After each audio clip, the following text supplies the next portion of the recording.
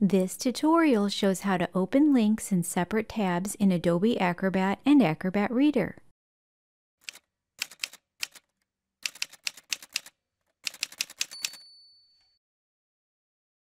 Hello, my name is Erin.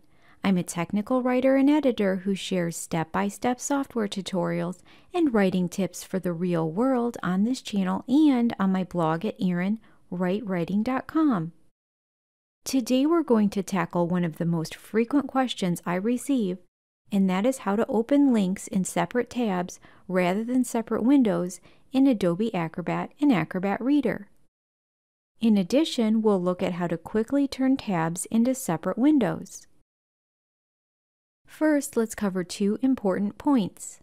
The steps shown here only affect links to other PDFs links to other types of files will still open in that file's native application. So a URL will still open in a web browser, and a link to a Word file will still open in Microsoft Word. Most importantly, the primary setting that controls how links open in Adobe Acrobat and Acrobat Reader is stored in the software, not in the PDF. So while you can indicate how you want a link to open when you create it in Acrobat, that choice will be overridden by the setting in your reader's device. I'll be using Adobe Acrobat DC. These steps also apply to Acrobat 2020, Acrobat 2017, and Acrobat Reader DC. You can perform these steps with or without opening a PDF. To begin, select the Edit tab. Mac users should select Acrobat Acrobat Reader instead. Then select Preferences from the drop-down menu. When the Preferences dialog box appears, select the General category. And then select the Open Documents as New tabs in the same window option. Next, use the scroll bar to move to the bottom of the dialog box and then select the OK button.